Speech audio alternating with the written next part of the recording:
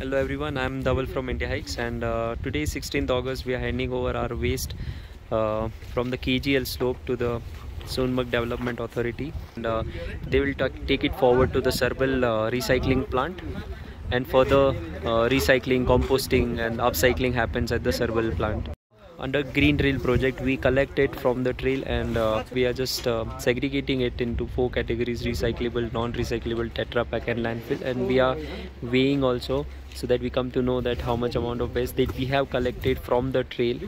You can see uh, the pickup vehicle is almost full.